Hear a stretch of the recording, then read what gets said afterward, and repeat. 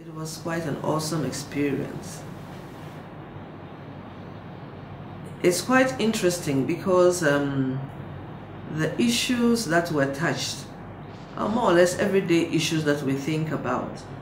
But I think um, when you talk about personality, the training has put things into perspective and makes you realize that these are qualities, personality traits which you really have to work on.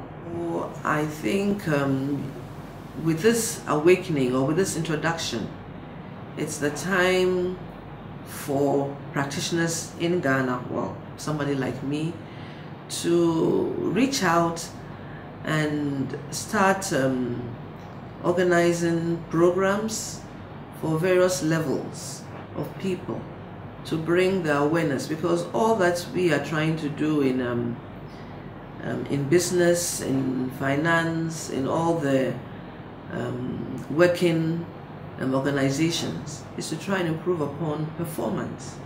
Performance is between the people. So if the people can be brought together and they can be made to understand each other and accept each other, because sometimes that is it, accepting each other, I think this will go a long way to raise the consciousness that is important. And then also moving forward, the leadership problem would be solved.